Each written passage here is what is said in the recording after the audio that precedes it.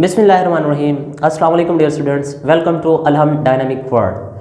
आज का जो बेटा हमारा टॉपिक है, वो है level of organization level of organization से मुराद ये है कि किन लेवल से गुजरकर एक मुकम्मल इंडिविजुअल एक मुकम्मल जानदार बनता है। तो इसका सबसे पहला हिस्सा तो ये है कि सब अटोमिक पार्टिकल से एक छोटे से छोटे जरे से एक मुकम्मल जानदार कैसे बनता है? फिर उन जानदारों की स्पीशीज से कम्युनिटी से एक मुकम्मल बायोस्फेयर कैसे डेवलप हो जाता है?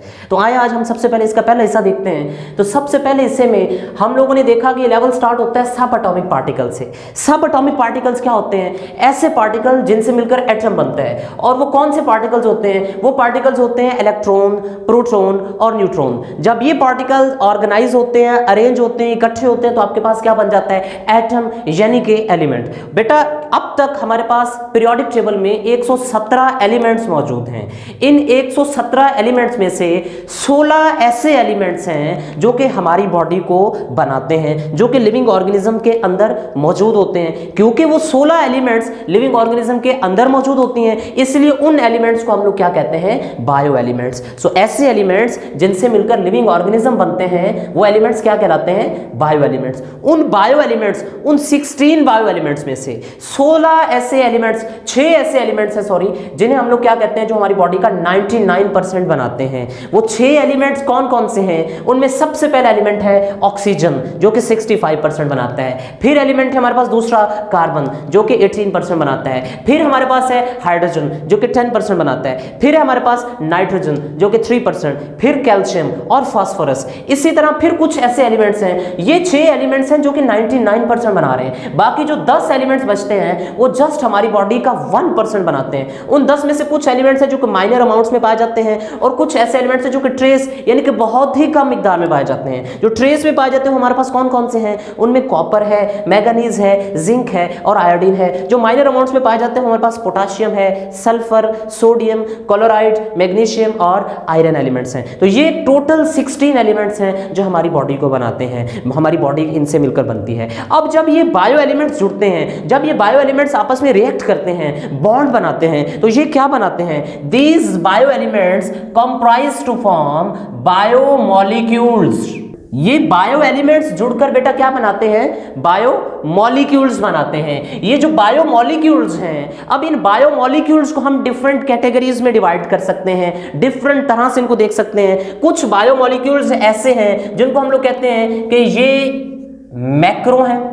कुछ बायोमोलिक्यूल्स ऐसे हैं जिनका साइज़ कम होता है, उनको हम लोग क्या कहते हैं? माइक्रोमोलिक्यूल्स तो मैक्रोमोलिक्यूल्स किसे कहते हैं? ऐसे बायोमोलिक्यूल्स ऐसे बायोमोलिक्यूल्स जिनका मॉलिक्यूलर वेट भी ज़्यादा है और जिनका साइज़ भी बड़ा है साइज़ भी लार्ज है, बड़े साइज़ के मॉलिक्यूल हैं। उनको कहते हैं मैक्रोमोलिक्यूल्स और ऐसे मॉलिक्यूल्स जिनका बेटा मॉलिक्यूलर वेट भी कम है और जिनका साइज़ भी छोटा है, उन मॉलिक्यूल्स को हम लोग क्या कहते हैं? माइक्रो मॉलिक्यूल्स अब एग्जांपल्स की बात करें तो हमारे पास कार्बोहाइड्रेट्स हमारे पास ग्लूकोज हमारे पास लिपिड्स ये ऐसे मॉलिक्यूल्स हैं जिनको हम लोग क्या कहते हैं? मैक्रो मॉलिक्यूल्स और अगर माइक्रो मॉलिक्यूल्स की बात करें तो पानी है साल्ट्स हैं कार्बन डाइऑक्साइड है, ये हमारे पास क्या है? These are called micro molecules अब ये माइक्रो एंड मैक्रो मॉलिक्यूल्स को, के बायो मॉलिक्यूल्स को हम लोग फर्दर कैटेगराइज करते हैं। हम लोग कहते हैं कि ये मॉलिक्यूल्स ऑर्गेनिक भी होते हैं। और यही मॉलिक्यूल्स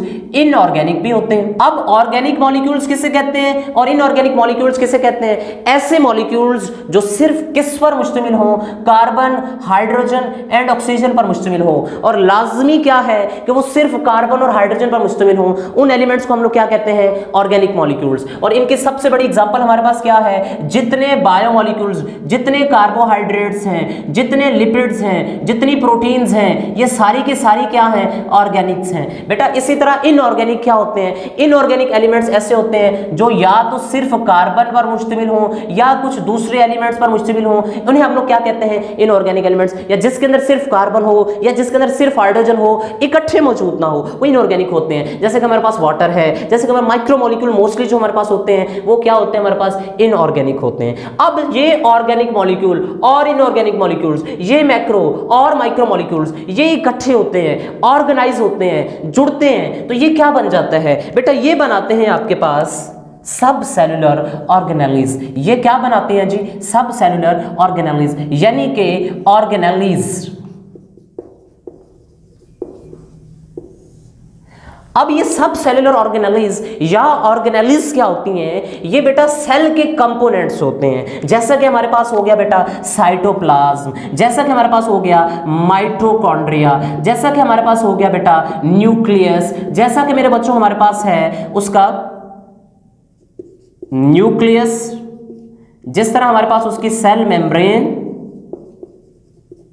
जिस तरह हमारे पास राइबोसोम्स बेटा ये सारे क्या हैं? ये सारे सेल के कंपोनेंट्स हैं सेल की ऑर्गेनेलिज हैं। जब ये सारी ऑर्गेनेलिज बन जाती हैं, अब इन ऑर्गेनेलिज का काम क्या होता है? ये ऑर्गेनेलिज बुनियादी तौर पर क्या करती हैं? ये ऑर्गेनेलिज सेल के अंदर लेबर यानी कि डिवीज़न ऑफ़ लेबर आप लोग इसे कह सकते हैं। मीन सेल के अंदर इनका फ़ंक्शन डिफरेंट होता है, इनका फ़ंक्शन डिस्ट्रीब्यूटेड होता है।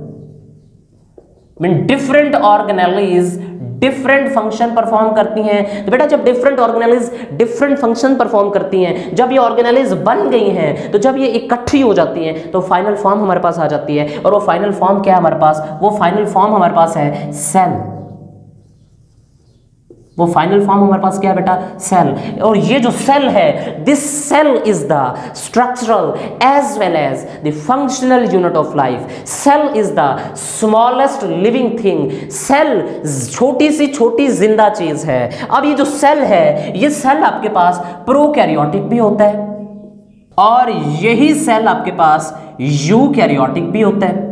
और यही सेल आपके पास बहुत से जानदार हैं जो एक सेल पर भी मुश्तमिल होते हैं और उन्हें आप लोग क्या कहते हैं? यूनिसेलुलर।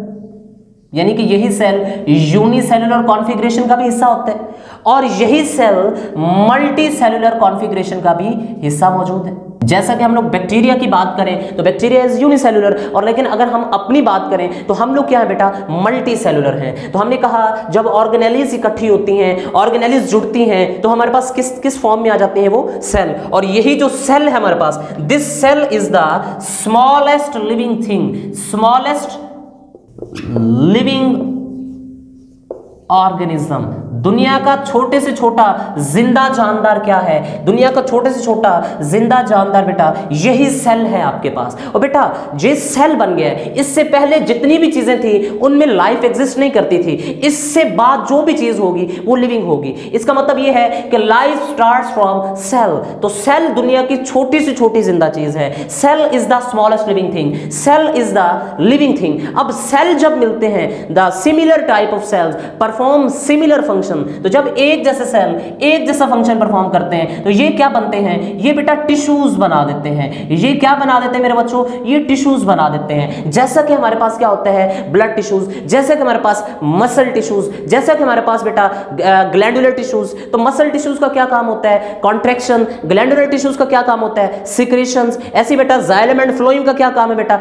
उनका काम है जी कंडक्शन तो बेटा डिफरेंट टाइप के टिश्यूज डिफरेंट ऑर्गन में पाए जाते हैं, जो कि किससे मिलकर बनते हैं? सेल से। फिर रिपीट कर रहा हूँ मैं, बेटा, एक जैसे सेल एक जैसा फ़ंक्शन परफॉर्म करें तो वो क्या बन जाते हैं? वो टिश्यूज बन जाते हैं। अब बेटा डिफरेंट टिश्यूज जिनका फ़ंक्शन रेलिवेंट होगा, मुख्तलिफ़ टिश्यूज जिनका फ़ंक्शन एक जैसा होगा तो वो क्या बनाएँगे? वो आपके पास बनाते हैं organ different tissues having similar function they comprise to form organ organ से मुराद क्या हुआ? जैसा कि आपके पास स्टमक है जैसा कि आपके पास इसके एग्जांपल में क्या हो सकता है? स्टमक अब अगर स्टमक की बात करें स्टमक में कौन से डिफरेंट टिश्यूज हैं? बेटा, अगर स्टमक की बात करें तो स्टमक के अंदर एक आपके पास मस्क्यूलर टिश्यूज होते हैं।